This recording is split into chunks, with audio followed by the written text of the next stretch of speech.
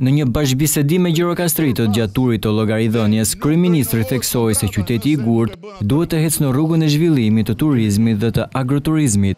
Ajo që ne tani kemi, duam të bëjmë dhe ta nxisim shumë është agroturizmi.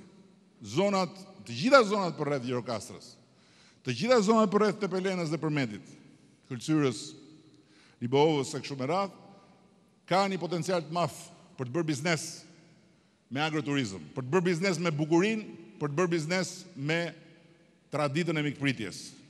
Dhe ne, për këtë arsye, të gjithë atyre që do investojnë për t'i kthyer në agrobiznes, pra në bujtina që kanë disa dhoma, apo për të ndërtuar edhe hotele pak më të mëdha, po flasim një herë për shpitë ekzistuese që kthehen në bujtina.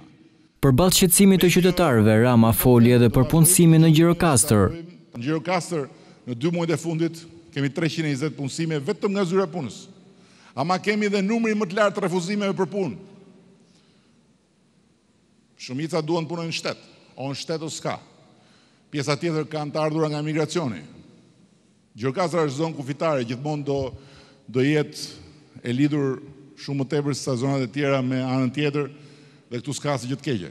Por, unë jam i bindur që Kthesa që ka filluar do sjellë gjithmonë e më shumë pozitivitet në ekonominë e zonës. Rama u kujtoi gjirokastritëve platformën ku duhet të shkruajnë për të gjetur zgjidhje apo përgjigje për shqetësimet e tyre lidhur me shërbimet në zyrat shtetërore. Shqipëria që duam pik al. Ti nuk di internet, merr nipin, merr mbesën, ta qan nipi dhe mbesën. Dakor? Faleminderit. Si edhe në bashkëbisedimet e tjera me qytetarët, nuk munguan batutat e kryeministrit me të pranishmit në këtë takim në Gjirokastër.